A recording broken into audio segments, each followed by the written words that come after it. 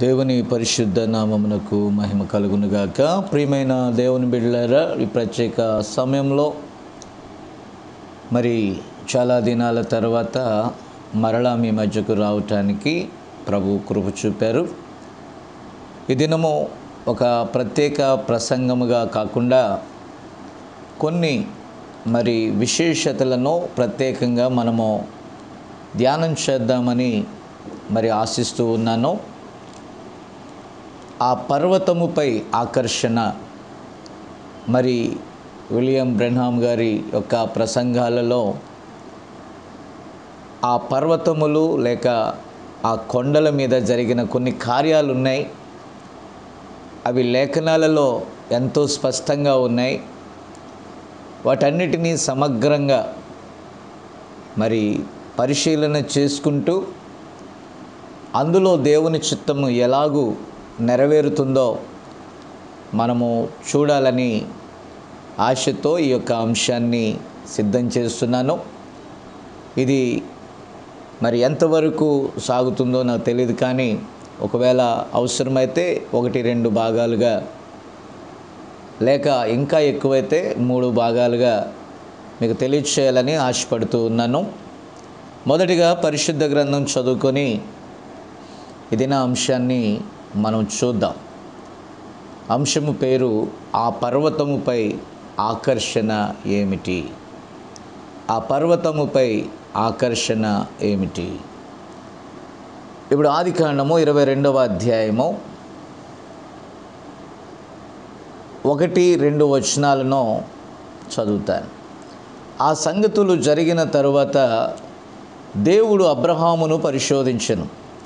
ఎట్లనగా ఆయన అబ్రహామా అని పిలవగా అతడు చిత్తము ప్రభు అనెను. అప్పుడు ఆయన నీకు ఒక్కడయున్న నీ కుమారుని అనగా నీవు ప్రేమించు ఇస్సాకును తీసుకొని మోరియా దేశమునకు వెళ్ళి అక్కడ నేను నీతో చెప్పబోవు పర్వతములలో ఒక దాని మీద దహని బ దహన బలిగా అతనిని అతని అర్పించుమని చెప్పాను. అలాగే మరి నిర్గమాకాండము చూద్దాం. ముప్పై నాలుగో అధ్యాయము చదువుకుందాం. ఉదయమునకు నీవు రెండవ వచనం ఉదయమునకు నీవు సిద్ధపడి ఉదయమున సీనాయి కొండ ఎక్కి అక్కడ శిఖరము మీద నా సన్నిధిని నిలిచియుండవలెను. అలాగే మత్తీసు వార్త పదిహేడవ అధ్యాయం. దయచేసి చూద్దాం. మత్తీసు వార్త పదిహేడో అధ్యాయము. నేను చదువుతాను. ఆరు దినములైన తర్వాత యేసు పేతురును యాకోబును అతని సహోదరుడైన యోహానును వెంట పెట్టుకొని ఎత్తైన ఒక కొండ మీదికి ఏకాంతముగా పోయి వారి ఎదుట రూపాంతరము పొందెను. చిన్న ప్రార్థన చేద్దాం. ప్రేమగల మా తండ్రి పరిశుద్ధుడా నీ కొందనాలు స్తోత్రాలనైనా ఇదిగో ప్రభా నీ దాసుడు ఈ కాలపు ప్రవక్త నైనా మాకు నాయన ఏమేమి నాయన నీవు చెప్పదలిసావో వాటన్నిటినీ బయలుపరిచి ఉన్నాడు. నైనా నీ దాసుని ద్వారా చెప్పిన ప్రతి దానిలో కూడా వధువుకు అత్యవసరమైన నాయన విశేషాలు అందులో దొరుకుతాయి. అందుచేత ప్రభా ఈ యొక్క సమయంలో మేము పరిశీలనగా చూచుచుండగా మీరే మా మధ్యకు దిగివచ్చి వాటిలో ఉన్నటువంటి శ్రేష్టమైన విశేషాలను మాకు బయలుపరచమని నీ కృపతో నువ్వు రంగం మీదకు వచ్చి మాతో మాట్లాడమని సమస్తమును నీ స్వాధీనములో ఉంచుకొని ప్రభా యొక్క విశేషతలను మేము చూచుచుండగా నీ పరిశుద్ధాత్మను ఇక్కడ ఉంచి దానిని ఓపెన్గా మాకు తెలియచేయండి.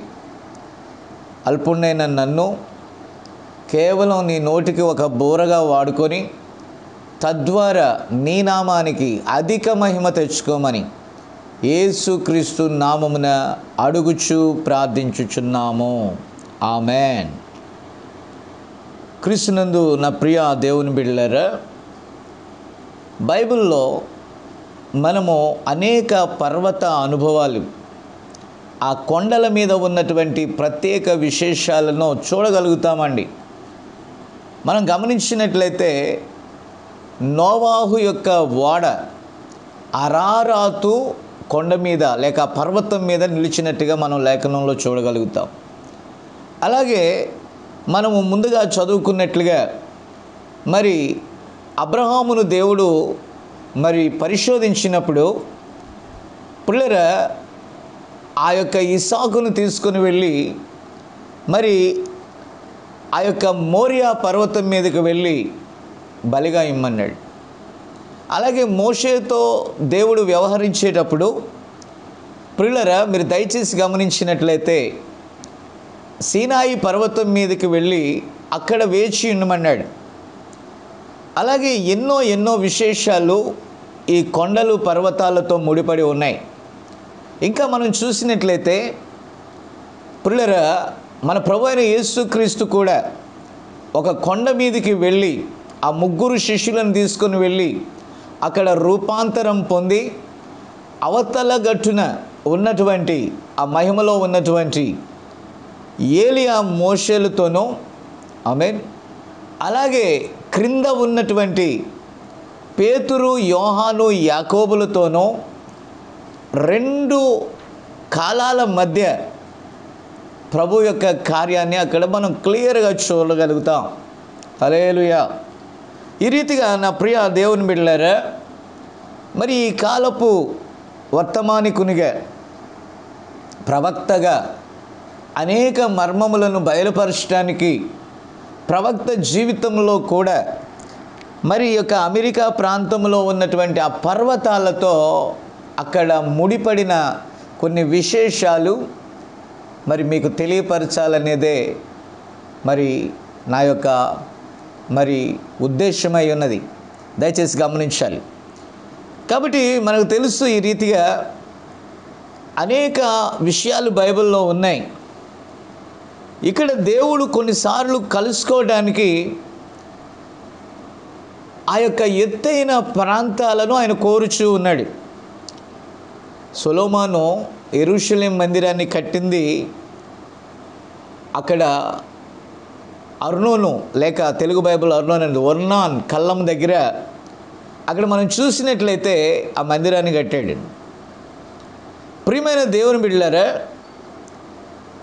ఇప్పుడు దేవుడు తన దూత ద్వారా వర్తమానాన్ని పంపేటప్పుడు ఆ ఎత్తైన పర్వతముల యొద్దకు తన ప్రవక్తలను తన దాసులను ఆయన పిలుచుచూ ఉన్నట్టుగా మనం చూస్తున్నాం. అలేలుయ కాబట్టి ఈ రీతిగా ఈ బైబిల్లో ఈ యొక్క ఉన్నతమైన కొన్ని అనుభవాలు ప్రత్యేకతలు తెలుసుకోవటానికి ఈ పర్వతాలతో ముడిపడి ఉన్నట్లుగా మనం చూస్తూ ఉన్నాం. Praise God. కాబట్టి అక్కడ రూపాంతర కొండ మీద మన ప్రభు రూపాంతరం చెందాడు. కల్వరి కొండ మీద ఆయన మరణించాడు. ఆయన ఒలీవల కొండలో ఆ రాత్రి ఆ తోట వనంలో అప్పగింపబడ్డాడు. ఈ రీతిగా మనం చూసినట్లయితే ఈ కొండలు పర్వతాలతో చాలా చాలా రిలేషన్ ఉంటున్నట్టుగా మనం చూస్తున్నాం. ఓకే? అయితే ఇప్పుడు అసలు సంగతికి మనం వచ్చినట్లయితే దేవుడు తన విశేషమయ్యేటటువంటి కార్యాలని ఒక పర్వతం మీద జరిగించుట మరి దేవుని యొక్క ఉద్దేశంలో ఏముందో మనకు తెలియదు కానీ దాని వెనకాల ఏదో ఒక వింతైన కార్యము ఉండి ఉంటుంది అని నేనైతే ఖచ్చితంగా నమ్ముచున్నానండి. ప్రైజ్ ద లాడ్ కాబట్టి ఆ పాత నిబంధన క్రొత్త నిబంధన అలాగే ఏడు సంఘకాలాలలో ఆ మొదటి సంఘకాలం ఎఫేసు నుండి లౌదికియా వరకు అనేక విశేషతలను దేవుడు తన మరి నక్షత్ర వర్తమానికుల ద్వారా తన పనిని ఆయన జరిగించుచూ వచ్చాడు. అయితే మర్మములన్నీ సమాప్తి అయ్యేటటువంటి పరిచర్య వచ్చినప్పుడు దేవుడు తన ప్రవక్తను పిలుచుకున్నాడు. ఇప్పుడు పాత క్రొత్త నిబంధనలలో ఉన్న ఆ మర్మములన్నిటినీ కూడా ఈ ఆఖరి లేక మరి ఈ దినముల యొక్క ముగింపులో అన్యజనులకు ప్రవక్తగా ఉన్న మరి విలియం మరియన్ బ్రెన్హామ్ గారి ద్వారా దేవుడు తన్ను తాను బయలుపరుచుకున్నాడు. అలలుయ కాబట్టి ఈ వింతైన సంఘటనలు లోకానికి అర్థమే కావు. కాబట్టి ఇది లోకస్తులకు లేకపోతే లోక సంబంధులకు కాదు కానీ దేవుడు తన అనాది సంకల్పములో ముందుగా ఎవరినైతే ఎన్నుకున్నాడో లేక గొర్రెపిల్ల యొక్క జీవగ్రంథములో ఎవరి పేర్లైతే లిఖించబడి ఉన్నాయో వారికి దేవుడు ఖచ్చితంగా బయలుపరుస్తాడని నేను నమ్ముచున్నానండి. Praise God. కాబట్టి ప్రియమైన దేవుని బిళ్ళారా ఇక్కడ మన ప్రవక్త విలియం బ్రెన్హమ్ గారు ఆ యొక్క అమెరికా దేశంలో ఉన్నప్పుడు ఇక్కడ ప్రవక్తతో కూడా కొన్ని కార్యాలు తెలియచేయటానికి అంటే ఆ ప్రవక్తకు కొన్ని కార్యాలు తెలియజేయటానికి దేవుడు తన దాసుని ఆ పర్వతముల మీదకి పిలిచాడు. అక్కడ ఎక్కువగా మూడు ప్రత్యేక పర్వతాలు మనం చూడగలుగుతాం. ఆ పర్వతాలలో ఒకటి ఆ యొక్క సబినో పర్వతం. ఈ సబినో కాన్యాన్ అనేటటువంటి పర్వతం ఫింగర్ రాక్ పర్వతం మూడవది అత్యంత విశేషత కలిగిన ఈ వర్తమానంలో అత్యంత విశేషత కలిగినటువంటి సన్సెట్ పర్వతం. ఇది అమెరికాలో ఉన్నటువంటి అరిజోనా రాష్ట్రంలో ఉన్నది. ఓకే ఇక మనం ముందుకు చూసినట్లయితే ఈ క్యాటలీనా పర్వత ప్రాంతము అక్కడ ఉన్నటువంటి టూసాన్కి ఉత్తర దిక్కున ఉన్నది. అక్కడ అవి శాంటా క్యాటలిన్లో భాగమై ఉన్నట్లుగా మనం చూస్తున్నాం. ఈ లీమెన్ పర్వత శిఖరము అన్నిటికంటే అక్కడ ఉన్నటువంటి లీమెన్ పర్వత శిఖరము అన్నిటికంటే ఎత్తైనది. ఆ పర్వత ప్రాంతాలలో కొన్ని తెగలవారు నివాసం చేస్తున్నట్టుగా చరిత్రకారులు మరి అక్కడ తెలియజేశారు. అలాగే మన ప్రవక్త జీవితం మీద ఆ లైఫ్ స్టోరీని రాసినటువంటి వారు కూడా వాటిని చేర్చుట జరిగింది. కాబట్టి అక్కడ వారి యొక్క పరిశోధనలో తేలినటువంటి విషయం ఏంటంటే ఆ ప్ర ఆ పర్వత ప్రాంతాల్లో అపాచి చెరోకి పపాగో నవాజో అను ఇండియన్ తెగల వారు నివసించేవారట. ఇక్కడ ఒక విషయాన్ని మీరు గమనించాలి. విలియం బ్రెనహామ్ గారు వారి నానమ్మ ఈ తెగలలో చెరోకి ఇండియన్ అని పలుమార్లు ప్రవక్త తన ప్రసంగాలలో తెలియజేశాడు. కాబట్టి ఈ యొక్క పపాగో జాతి వారు స్నేహపూర్వకంగా ఉండేవారంట. కానీ అపాచీ ఇండియన్స్ మాత్రం పోరాటాలు చేసేవారంట. వారు ఒక చోట ఉండేవారు కాదు కానీ వారు సంచార జీవులుగా ఉన్నారు. దయచేసి గమనించాలి. వారి నాయకులలో జెరోనిమా అనేటటువంటి వాడు ముఖ్యుడైన నాయకుడు. ఆ రెండు జాతుల వారు టూసాన్ లోయకి మరి ఆరాధించుటకు అక్కడికి చేరుకునేవారట. పిల్లల జాగ్రత్తగా గమనించండి. ఇది చాలా ప్రాముఖ్యం. ఇది ఎందుకులే ఈ కథ అంతా ఇదంతా మనకు అనవసరం అనుకుంటే మీరు అసలు సంగతులు గ్రహించలేరు. ఎందుకంటే దేవుడు తన సేవకులకు కొన్ని బయలుపరచడానికి వారిని తల్లి గర్భములో రూపము చెందక ముందే వారిని ఎక్కడ ఉంచాలో ఏ ప్లేస్లో నుండి వారిని పిలవాలో ఆయన ముందుగా నిర్ణయించుకున్నాడండి. Praise God! అందుచేత వాటికి అంటే అక్కడ ఉన్నటువంటి భౌగోళిక పరిస్థితులకు దేవుడు ఏర్పరచుకున్నటువంటి వ్యక్తికి అలాగే ఆ వర్తమానము ద్వారా పిలువబడిన వారికి చాలా అవినాభావ సంబంధము ఉన్నది. Praise God. అది వధువు గమనిస్తూ ఉంటుంది. నేర్చుకోవాలి తెలుసుకోవాలి. ఆమెన్.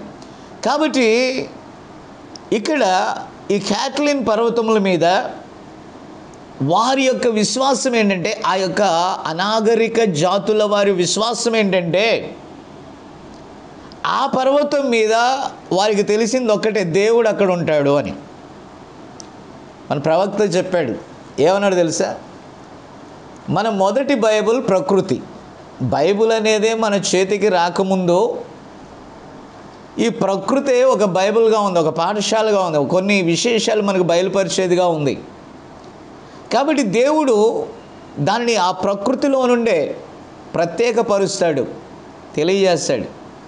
కాబట్టి పిల్లరా మీరు దయచేసి గమనించినట్లయితే వారు ఒక వేట చేసే వేటాడేటటువంటి వృత్తిని వారు కలిగి ఉన్నారు. కాబట్టి ఆ స్థలంలో సృష్టికర్తయగు దేవుని ఆత్మ సంచరించుననే కొన్ని ప్రత్యక్షతలను వారు కలిగి ఉన్నారు. ప్రతి వారికి ఏదో ఒక విశ్వాసం. దేవుడు ఫలానా అని తెలియకపోయినా దావీదు తన కీర్తనలో సమీకరించిన వాటిలో చెప్తున్నాడు. ఆకాశమును అంతరిక్షమును ఆయన మహిమను వివరించుచున్నవని.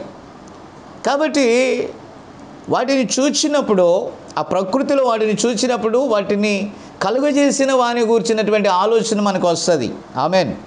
కాబట్టి నా ప్రియమైన దేవుని బిడ్డారా ఈ రీతిగా వారు నిత్యుడు సజీవుడైన దేవునిని లేఖనాల ద్వారా తెలుసుకోకపోయినా వారి ఒక నమ్మకం ఉంది ఆ పర్వతం మీద దేవుడు ఉంటాడు అని.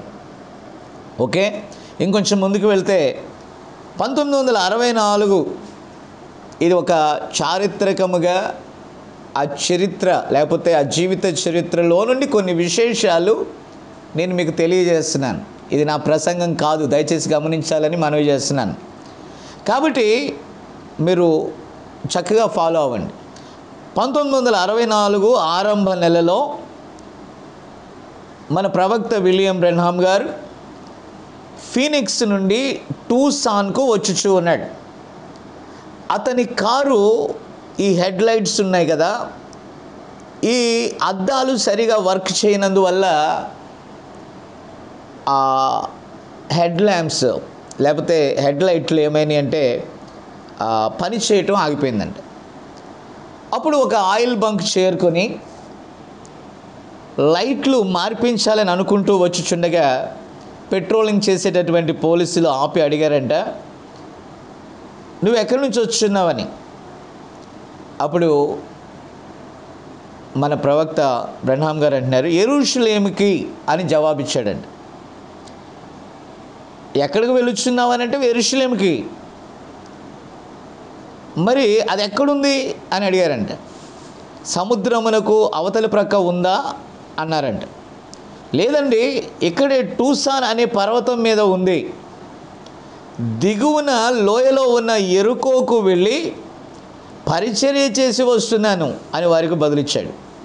నిజంగా ప్రవక్త ఆయన వర్తమాన భూత భవిష్యత్ కాలాలను ఆ కాలాలలో ఉన్న విశేషాలను దేవుని ఆత్మ ద్వారా వెళ్ళి చూచి రాగలరు.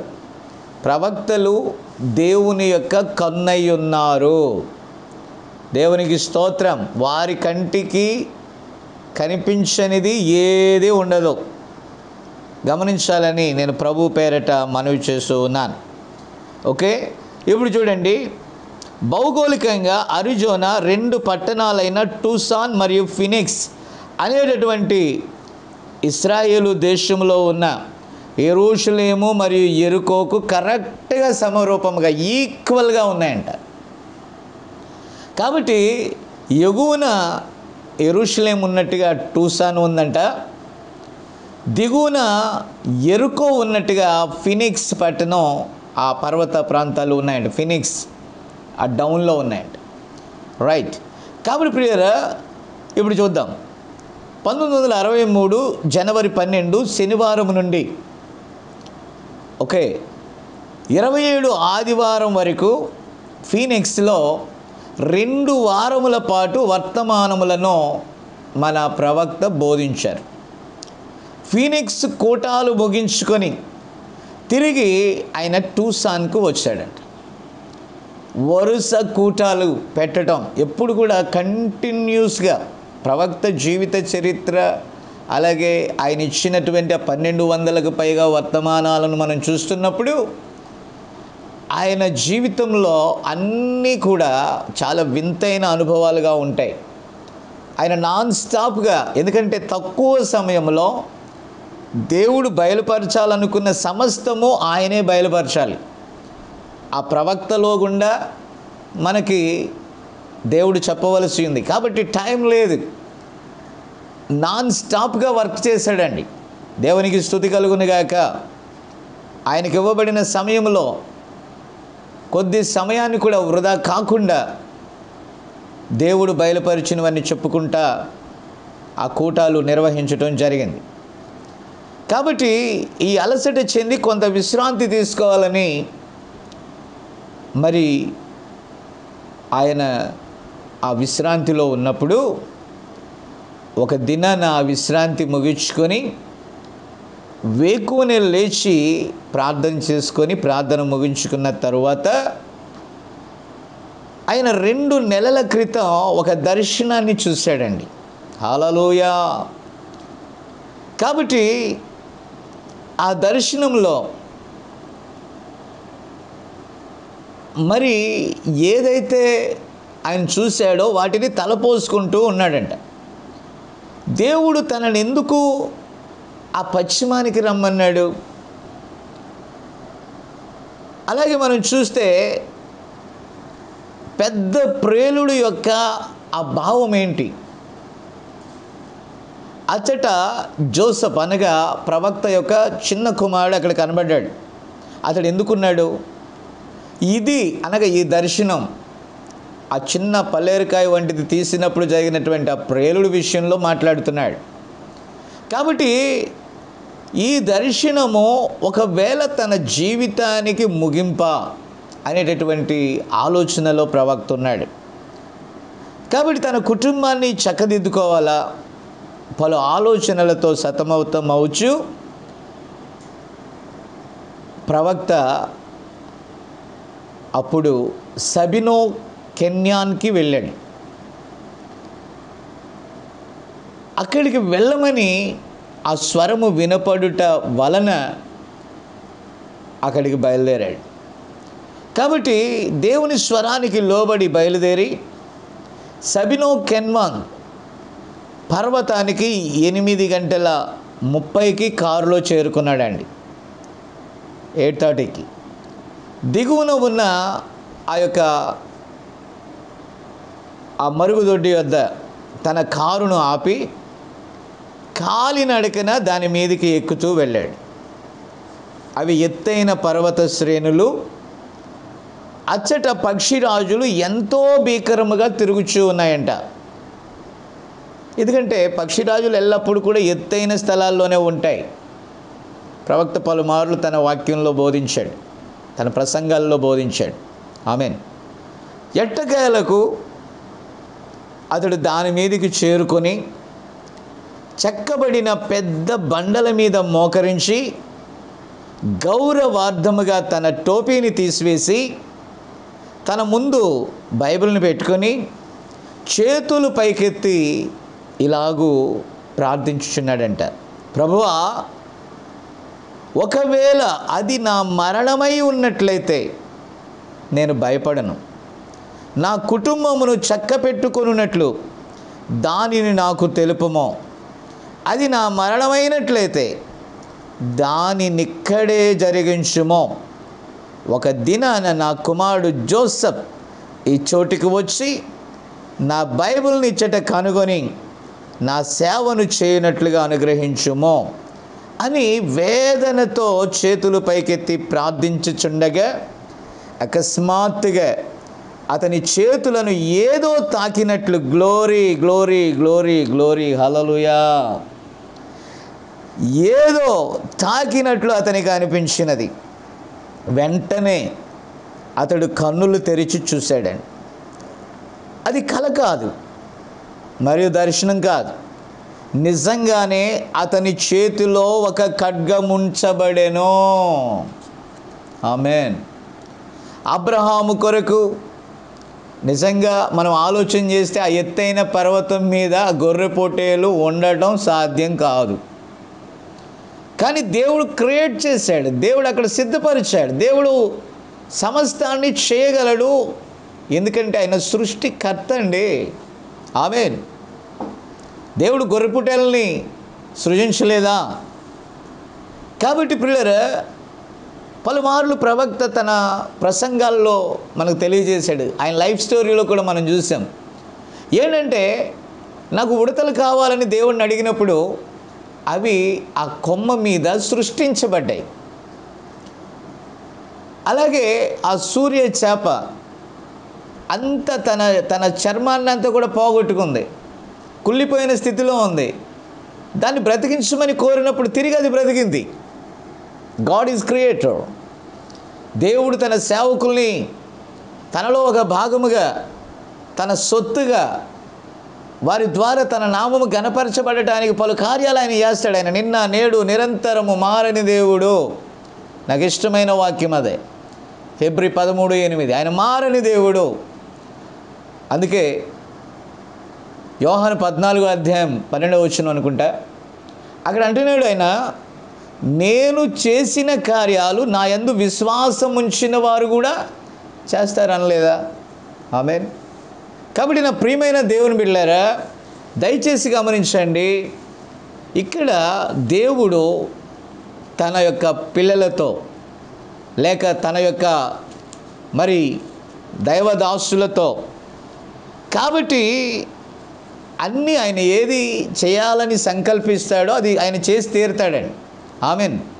కాబట్టి పిల్లరా ఇప్పుడు కొందరు నమ్మరు నమ్మరు. దైవ కార్యాలు ఎవరు నమ్మారు?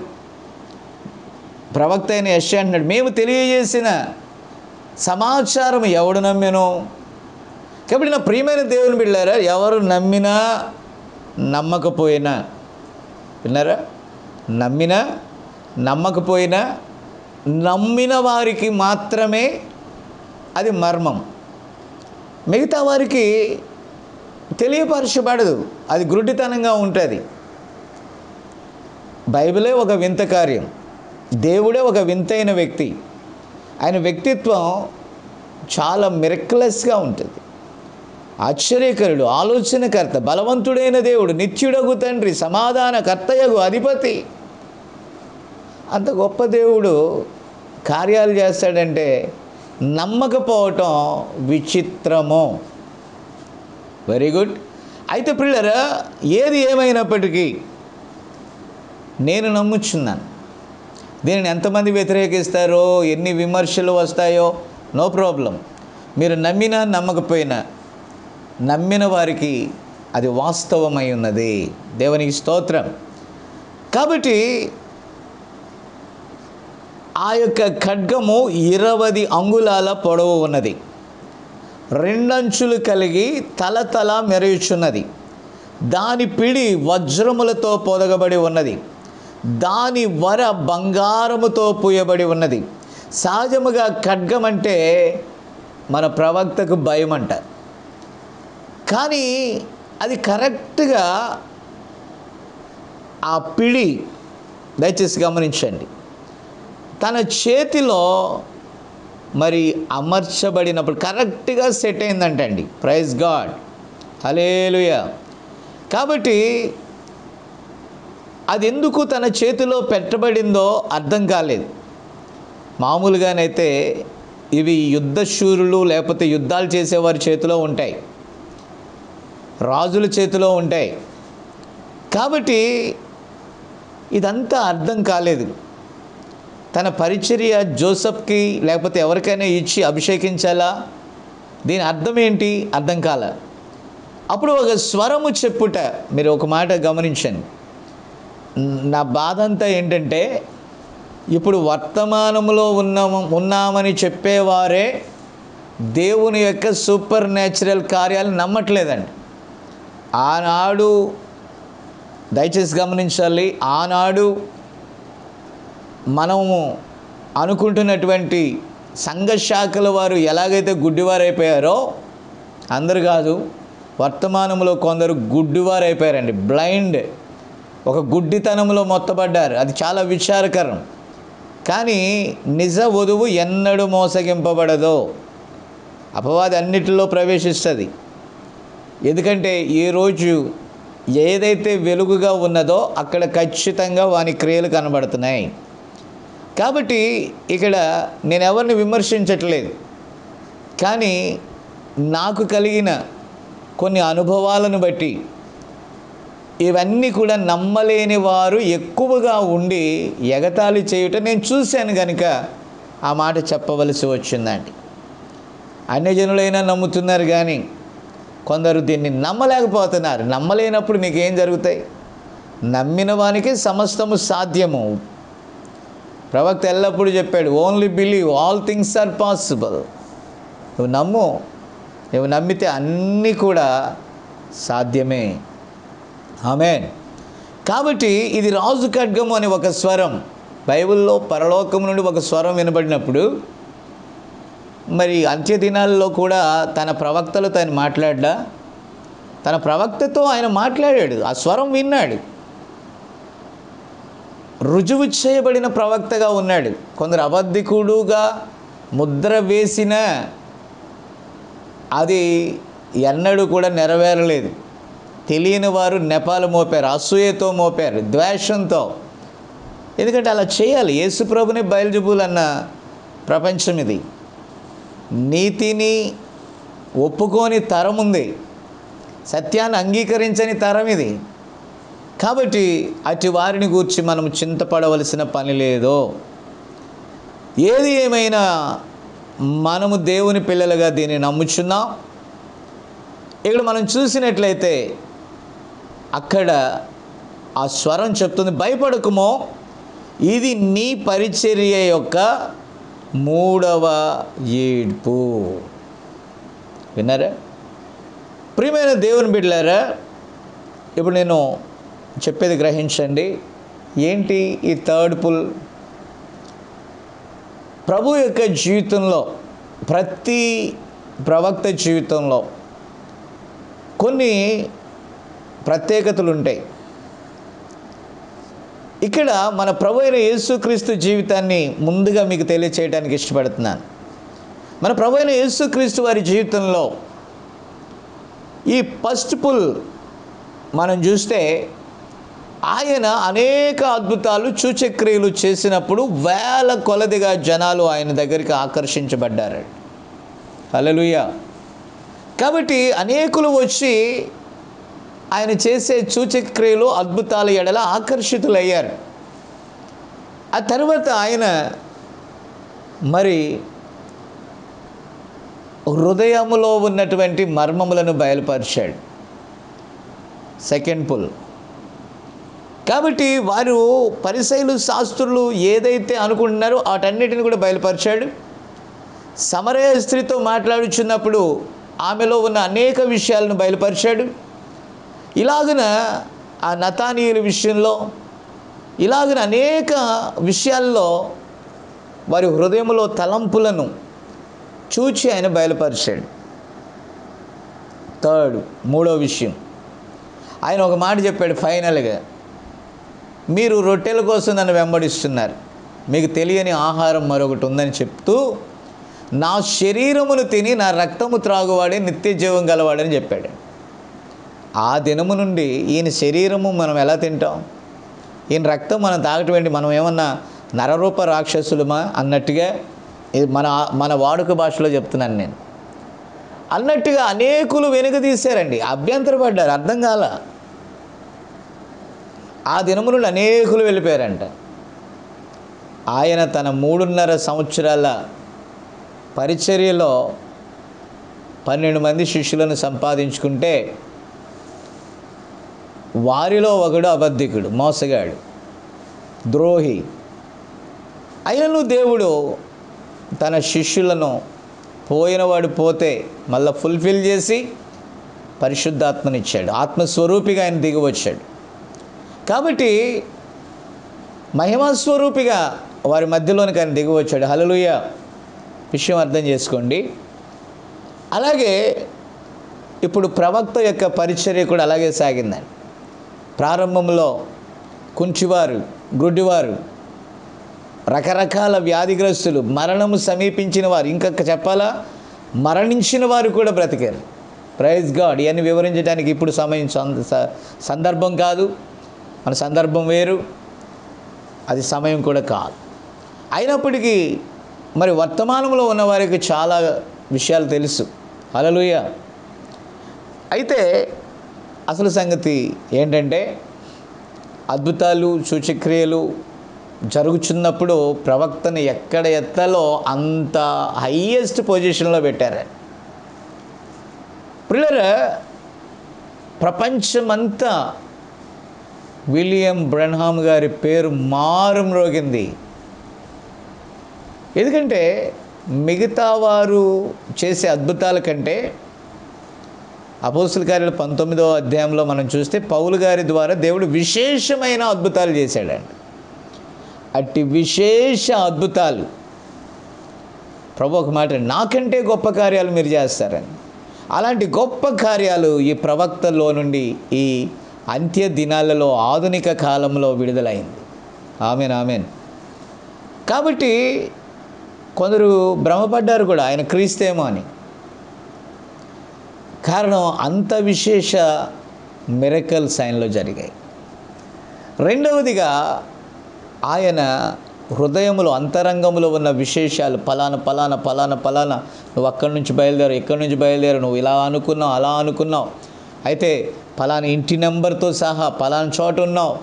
హృదయంలో ఉన్న మర్మాలన్నిటిని కూడా హృదయంలో ఉన్న తలంపులన్నిటిని కూడా ఆనాడు సమరయ స్త్రీ యొద్ద నతానీయుల యొద్ద ఇంకా అనేక మంది హృదయ వివే హృదయంలో ఉన్న విశేషాలను వాక్యస్వరూపి అయిన క్రీస్తు ఎలాగైతే బయలుపరిచాడో అలాగే ఈ ప్రవక్తకు దేవుడు తెలియజేశాడు. ఆమెన్. అది రెండవ ఈడుపు. ఇక థర్డ్ పుల్ ఏంటంటే వాక్య ప్రత్యక్షత. అసలు సంగతి వచ్చినప్పుడు వాక్యము యొక్క ప్రత్యక్షత బయలుపరచబడినప్పుడు అనేకులు వెనుకదీసి వెళ్ళిపోయారండి. లక్షల కొలది ప్రజలు ఆయన ఎక్కడ ఉంటే అక్కడ గ్యాదర్ అయ్యేవాళ్ళు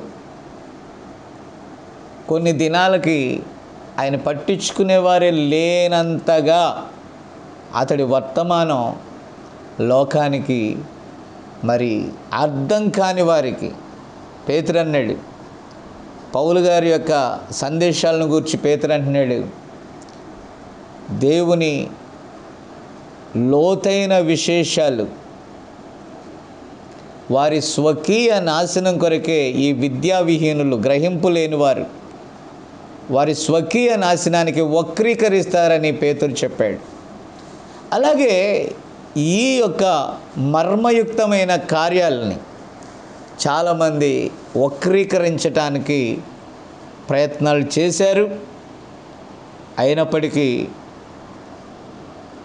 అనేకులు లోకము ఆయనను తృణీకరించినప్పటికీ సత్యమును సత్యం కోసం ఎదురుచూచిన వధువు మాత్రం ఆ వర్తమానాన్ని స్వీకరించిందండి. దేవుని స్తోత్రం ఎందుకు స్వీకరించిందంటే అది ఎవరికి అవసరమో వారికే దేవుడు బయలుపరిచాడు కనుక. హలేలుయా కాబట్టి నా ప్రియమైన దేవుని బిళ్ళారా ఇక్కడ మనం చూసినట్లయితే ఇది నీ పరిచర్య యొక్క ముగింపు థర్డ్ పుల్. కాబట్టి ఈరోజు ఆ రాజ ఖడ్గాన్ని ఆ పర్వతం మీద ప్రవక్త పట్టుకున్నాడు. ఆ తర్వాత ఆ ఖడ్గము ఏమైంది? ఎవరి చేతిలో ఉంది?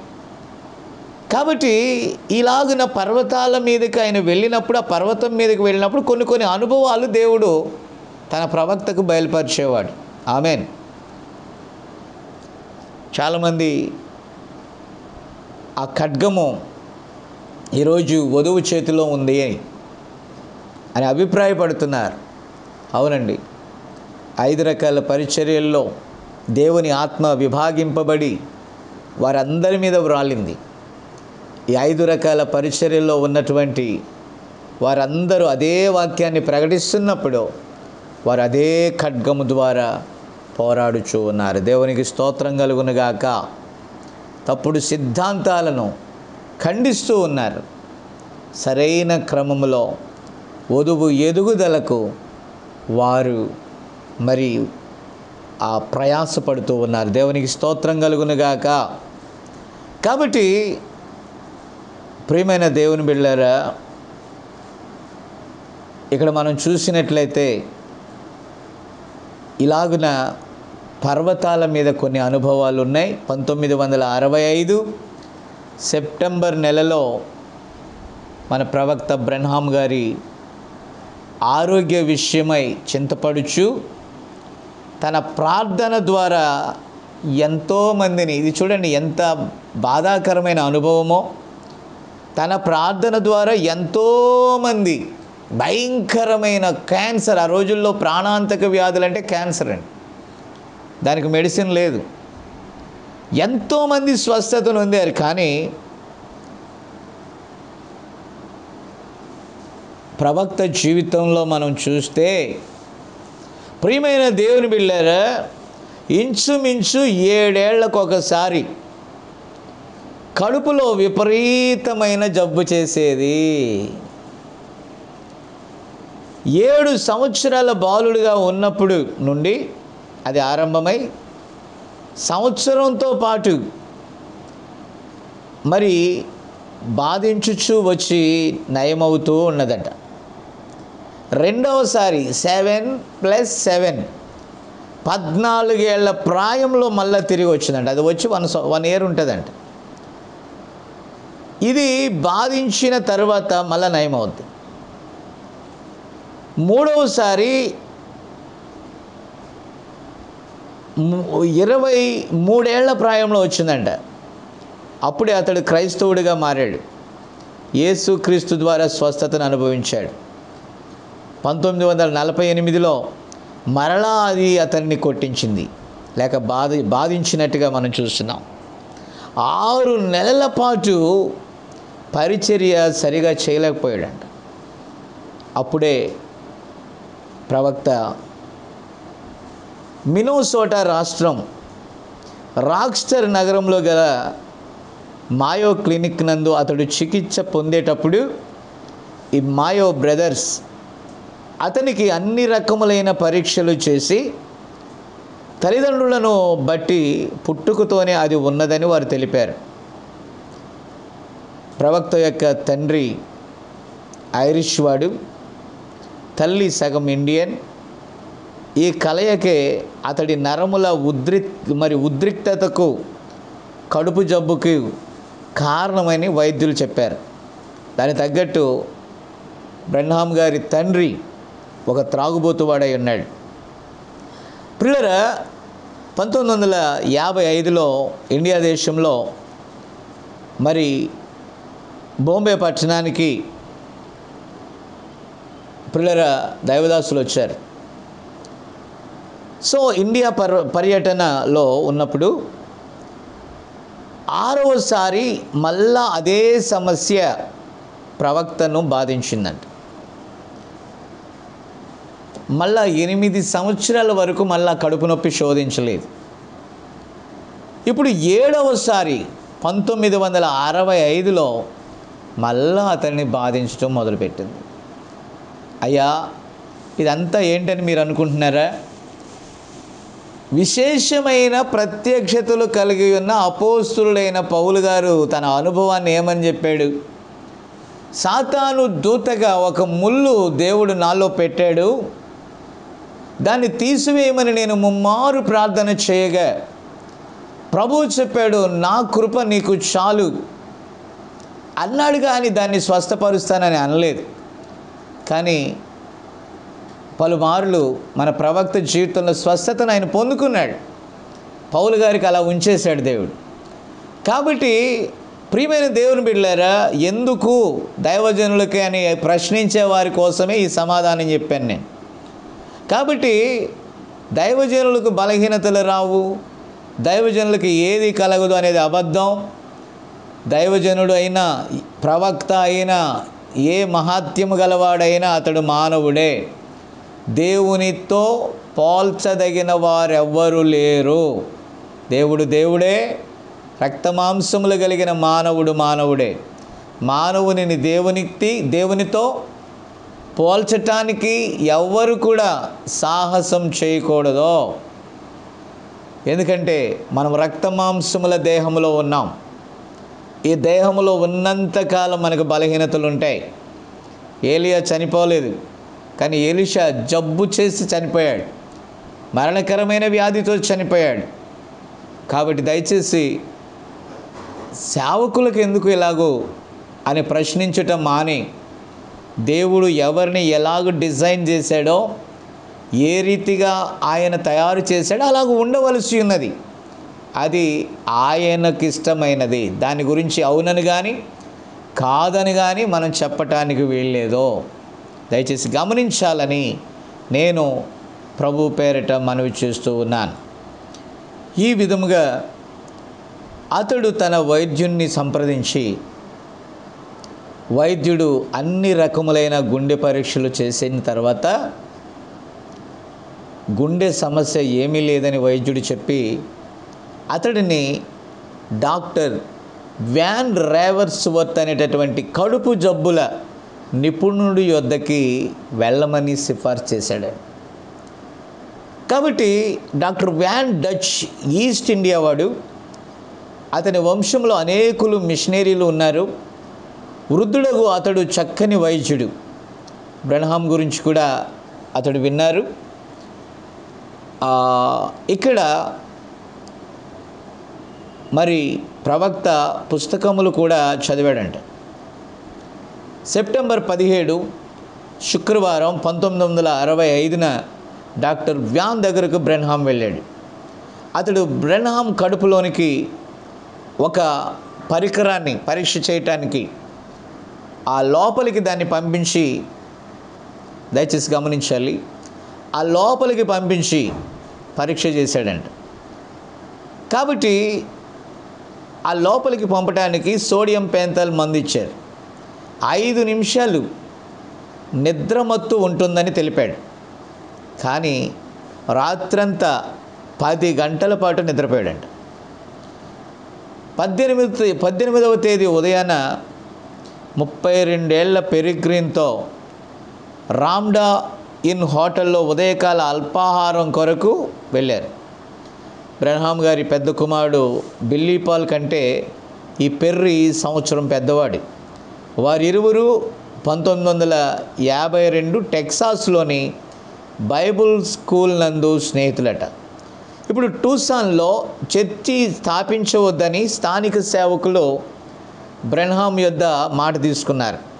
టూసాన్లో వర్తమాన చర్చి లేనందున బ్రెన్హాం కొందరి సహోదరులను వచ్చి పెట్టమని అడిగారు ఆ సహోదరులను పెట్టమని అడిగాడు. వారిలో విల్లార్డ్ కాని కాలిన్స్ ఒకరు. అయితే పెర్రీ గ్రీన్ అందుకొరకు ముందుకు వచ్చాడు. టెక్సాస్ రాష్ట్రం బ్యూ మౌంట్ వాడకు పెర్రీ తన వ్యాపారాలు ఆస్తులు అమ్మి వచ్చి తినని బ్రెన్హామ్కు తెలిపాడు. ఆ రోజు చాలాసేపు వారు అక్కడ గడిపారు.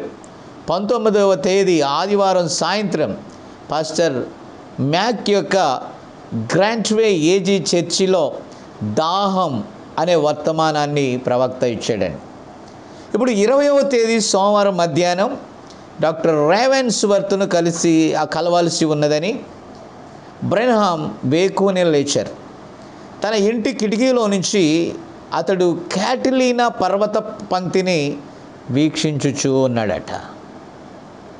అతనికి కలిగిన ఒక దర్శనములో అతడు ఏడేళ్ళ బాలుడిగా ఒక చెట్టు వద్ద నిలబడి ఉన్నప్పుడు వెంటనే అతడు ముప్పై ఎనిమిదేళ్ళ వయస్కుడిగా మారి ఆ చెట్టు త్వరవైపు చూస్తుండగా ఉడత వంటి ఒక చిన్న విచిత్రమైన జంతువు త్వరలోనికి జొరబడింది.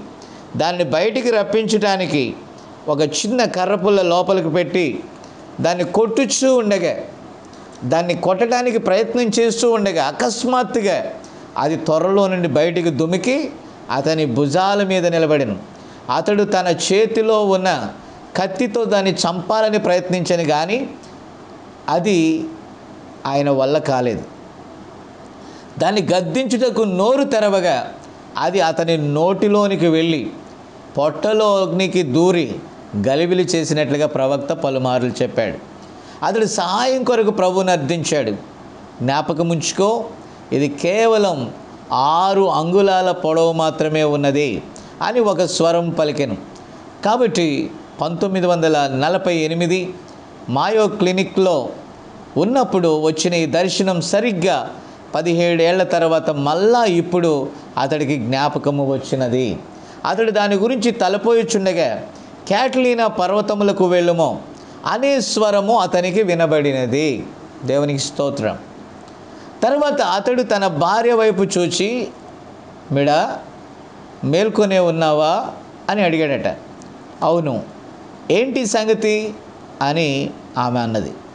నేను ఆ ఉడతను అదుగో అక్కడ మరలా చూస్తున్నాను అని అతడు పలికెను. ఏ ఉడత? అని ఆమె అడిగాను. అదే పదిహేడేళ్ళ క్రితం మాయో క్లినిక్లో దర్శనమందు నేను చూచిన ఉడత అని అతడు బదులిచ్చాను. షారా జోసెఫ్లను స్కూల్లో దిగబెట్టి అచ్చటి నుండి క్యాటిలీనా పర్వతముల ఆ, ఆ సబినో క్యాన్వాన్కు వెళ్ళాడు. సమయం పదకొండు గంటలైనది. రాజు ఖడ్గం చేతిని తాకిన ఆ జీను చోటును దాటి కుడివైపుకు తిరిగి చెక్కుడు లాంటి పెద్ద రాళ్ళ మీదకు వెళ్ళాడు.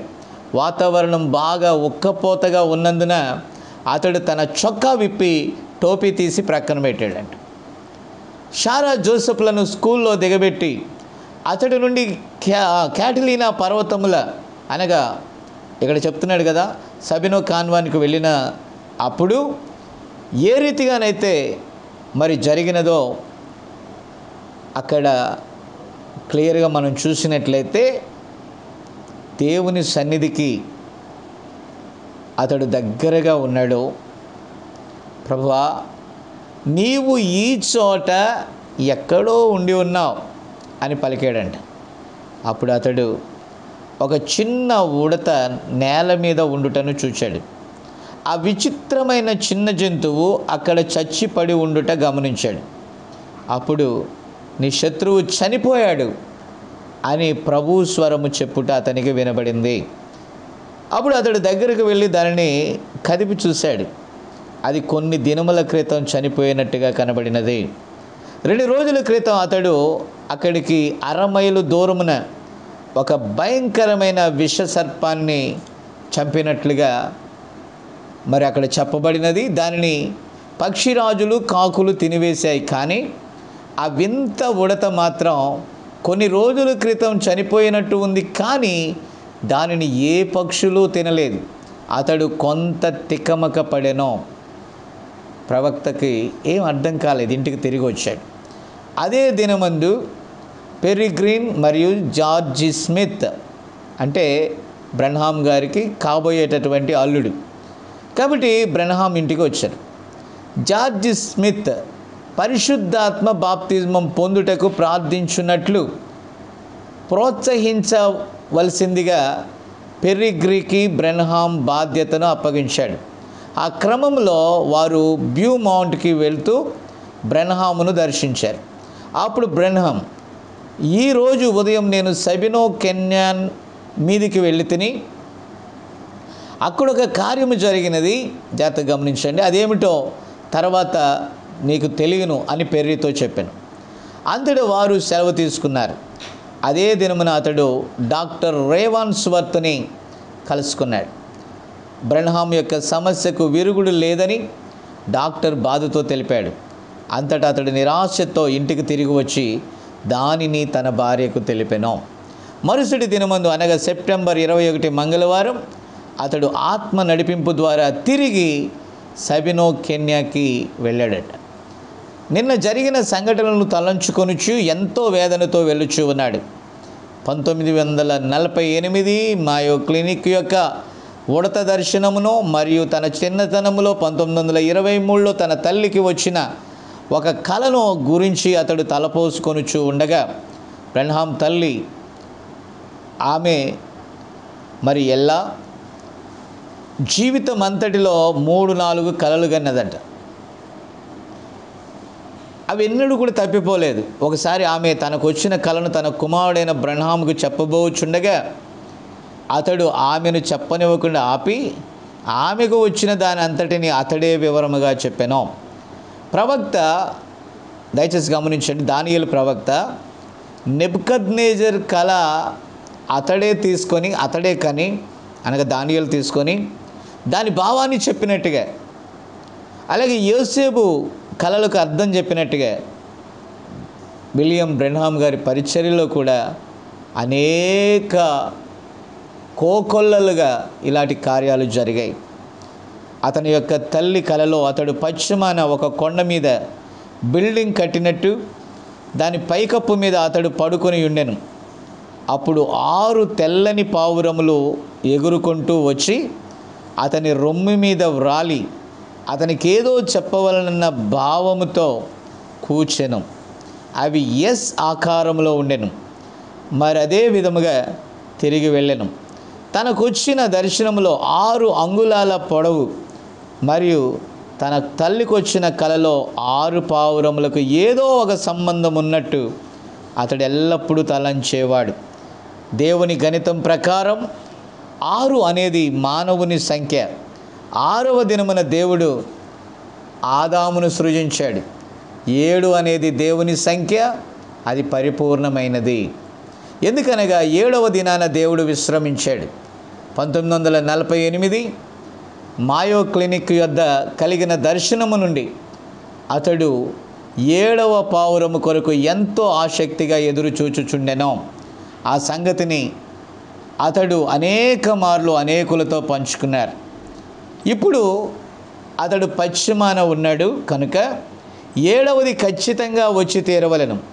దేవుడు పావురము ద్వారా నోవాహును దర్శించెను యోర్దాను నదిలో యేసు బాప్తిజమమును పొందిన తర్వాత పావురమును పంపించుట ద్వారా దేవుడు సాక్ష్యము పలికాడు. ప్రైజ్ గాడ్ పావురము దేవుని యొక్క హలలుయ హలలుయ స్వచ్ఛమైన ప్రేమకు సూచన అని అతని నమ్మకం. కాబట్టి అతడు అలా తలంచుకొనుచుండగా అతని కన్నుల ఎదుట ఒక తెల్లని పావురము అతనికి కనబడది.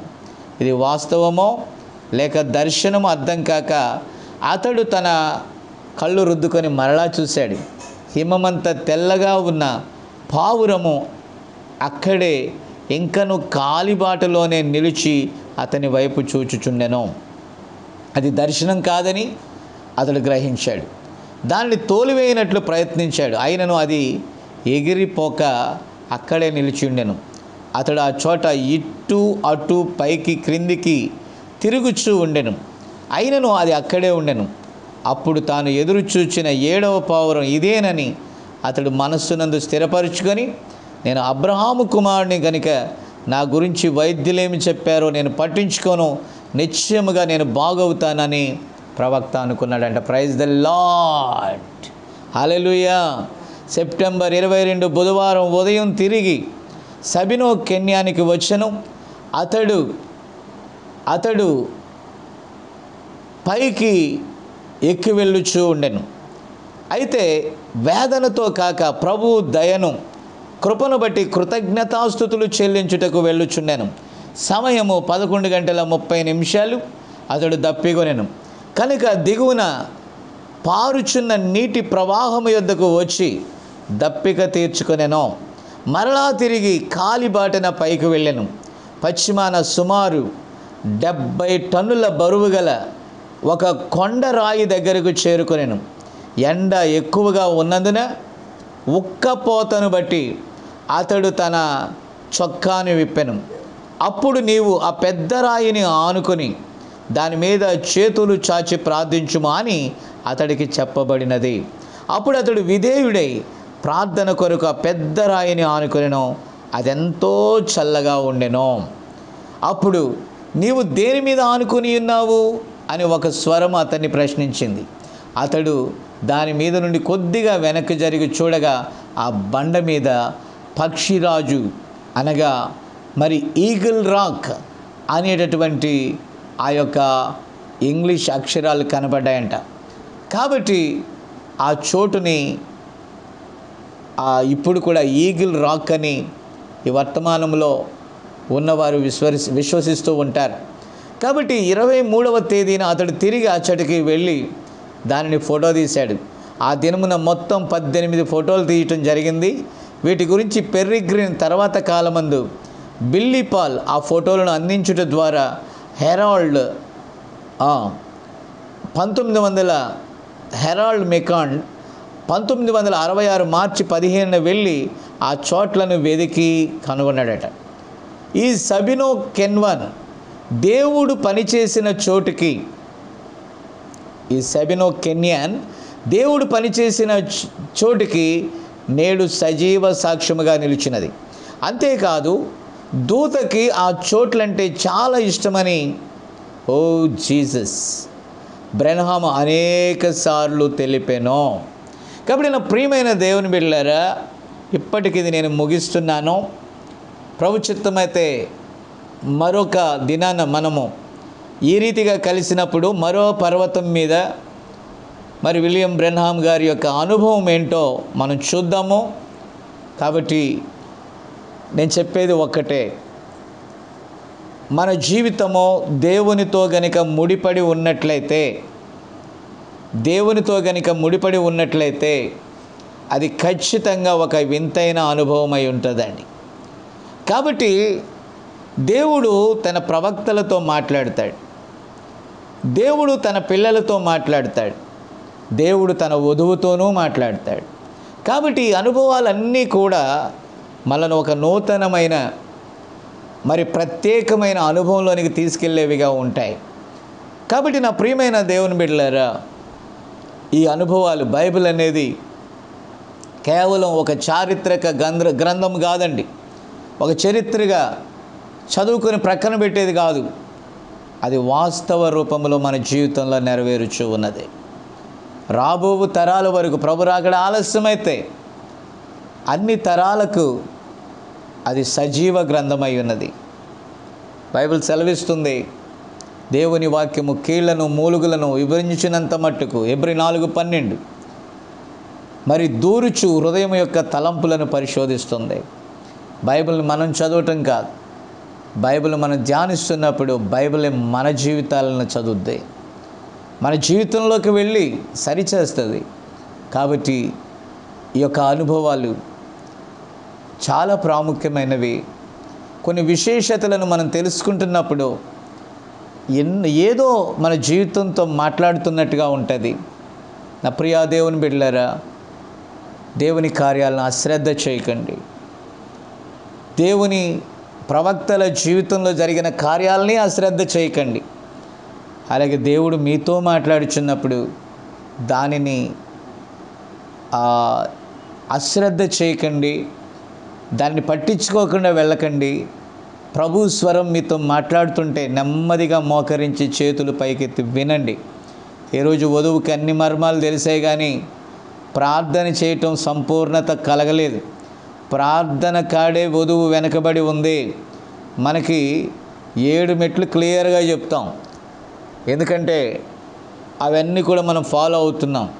అపోస్తుల కార్యాలు రెండు ముప్పై ఎనిమిది నుండి నలభై రెండు వరకు మనం చదువుకుంటే అన్నీ ఉన్నాయి. కానీ ఎడతెగక ప్రార్థన చేసేది మిస్ అవుతున్నారు. కాబట్టి ప్రార్థన అనేది చాలా ప్రాముఖ్యమైనది. ఓ వధువ ప్రార్థన మాత్రం నిన్ను రూపాంతరపరుస్తుంది. ఇవన్నీ నీకు అర్థం కావాలంటే ప్రవక్త చెప్పాడు. ఏం చెప్పాడో తెలుసా? మీరు మోకరించి ప్రార్థించండి. మీరు ప్రార్థన చేస్తే దాన్ని గ్రహించగలుగుతారు. లేకపోతే ఒక మరి ఆర్ట్స్ గ్రూప్ తీసుకున్నటువంటి ఒక వ్యక్తికి కెమిస్ట్రీ బోధిస్తే ఎంత అయోమయంగా ఉంటుందో ఈ వర్తమానం కూడా అలాగే ఉంటుంది. నీవు దాన్ని తెలుసుకోవాలంటే దాన్ని బయలుపరిచేటటువంటి పరిశుద్ధాత్మ అవసరం ఉంది. పరిశుద్ధాత్మ నీ జీవితంలో ఆ కార్యాన్ని నీకు తేటగా చూపించాలంటే ప్రార్థన అవసరమై ఉంది. కాబట్టి ప్రార్థించి దాన్ని పొందుకోవాలి. లేకపోతే తప్పకుండా నీవు దాన్ని గ్రహించలేవు. గ్రహించకపోగా ఒక విమర్శనాత్మకంగా ఆలోచిస్తావు. తద్వారా నష్టమే జరుగుద్ది. కాబట్టి మంచిగా దాని గురించి పాజిటివ్గా నువ్వు ఉండాలంటే హలలుయ దాని గురించిన గ్రహింపు నిమ్మని ప్రభువుని అడిగితే చాలా క్లియర్గా ఉంటుంది. అట్టి కృప ఈ యొక్క అంశమును లేక ఈ యొక్క వర్తమానమును విన్న ప్రతి ఒక్కరికి దేవుడు దయచేయునుగాక. ప్రార్థన చేద్దాం. ప్రేమ కలిగిన మా తండ్రి ఆ పర్వతం మీద ఆకర్షణ నాయన ఏమిటో కొన్ని విషయాలను గూర్చి మీరు బయలుపరుస్తూ వస్తున్నారు నాయన. ప్రవక్త జీవితంలో జరిగిన అనేక విషయాలను ప్రభు క్షుణ్ణంగా మరొక్కసారి మీ బిడల ఎదుటికి తీసుకురావటానికి మీరు ప్రేరేపించారు. మరి దీని ద్వారా మరి ఎంతమందికి ఏం జరగనయ్యిందో ఎంత ఏ అవసరత ఉందో నాకు తెలియదు కానీ మీరు నన్ను ప్రేరేపించారని నేను నమ్ముచున్నాను. ఈ వర్తమానం ద్వారా అనేకులు నాయన ఇదిగో ప్రభా ఈ గడియకు ఒక వర్తమానం ఉందని. ఆ వర్తమానమే ప్రామాణికమని దాని ద్వారానే వధువు ర్యాప్చర్లో ఎత్తబడుతుందని గ్రహింపును దయచేయమని. ప్రభా ఇదిగో ఈ యొక్క వర్తమానం విన్న ప్రతి బిడలను దీవించమని. మహిమ ఘనత ప్రభావాలు నీకే ఆరోపిస్తూ మమ్మల్ని మేము నీకు సమర్పించుకుంటూ ప్రతి ఒక్కరి అవసరతకు ఏసే జవాబని నీ నామమున నీ బిడ్డలు నీ చేతికి అప్పగిస్తుండగా సహాయం చేయమని కృప చూపమని ప్రభా నీ ర్యాప్చర్లో ప్రభు అయిన యేసు రమ్ము అని మేము ధైర్యంగా పలకటానికి తగిన సిద్ధపాటును దయచేయమని ఆ ప్రభును రక్షకుడైన యేసుక్రీస్తు నామమున అడుగుచూ ప్రార్థించుచున్నాము. Amen. Amen. God bless you. God bless you all.